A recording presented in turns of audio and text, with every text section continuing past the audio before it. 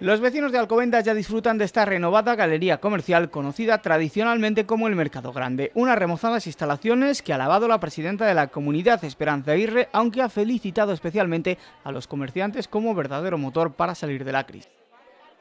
Yo la primera campaña que me presenté fue con el lema El norte también existe, hicimos el metro, hicimos el hospital y aquí está el alcalde dispuesto a invertir 15 millones de euros en el centro de esta maravillosa ciudad.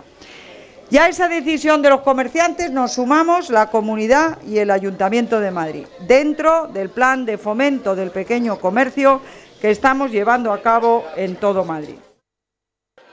Gracias a las obras se ha mejorado la climatización de las instalaciones, se ha puesto en marcha un nuevo sistema de protección contra incendios y se ha cambiado el sistema eléctrico y de iluminación. Asimismo, las rampas en los pasillos y accesos han mejorado la accesibilidad a todos los públicos y las entradas ahora disponen de puertas y cierres automáticos. De esta forma se ha completado la modernización y puesta al día de uno de los grandes símbolos del comercio de Alcobendas.